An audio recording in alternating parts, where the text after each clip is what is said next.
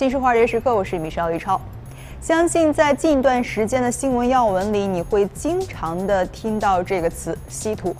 军事、科技、工业行业里，所有的高科技产品的核心部位的制造都离不开的就是稀土。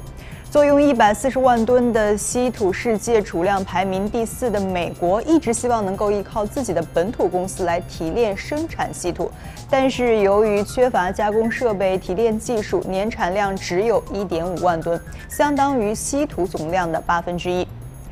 MP Materials 是目前美国唯一一座稀土矿——芒廷帕斯稀土矿的矿主。自1948年开矿至今，这座土矿直到现在为止，其东家是易主多次，但是唯一不变的是，这座矿仍然在依赖中国的稀土加工业。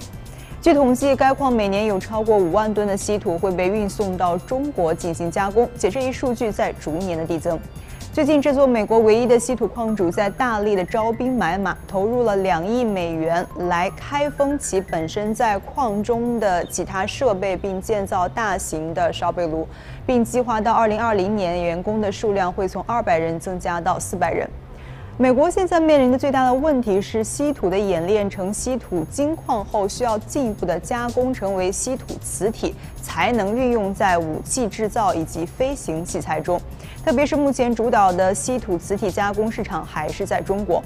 美国唯有向其他国家来求助。美国最先找了澳大利亚，澳大利亚的莱纳斯股份有限公司是除了中国之外世界最大的稀土矿提炼和加工厂商。在今年六月份，莱纳斯与美国的德克萨斯州的蓝线公司签署了协议，计划在美国设立稀土分离设施。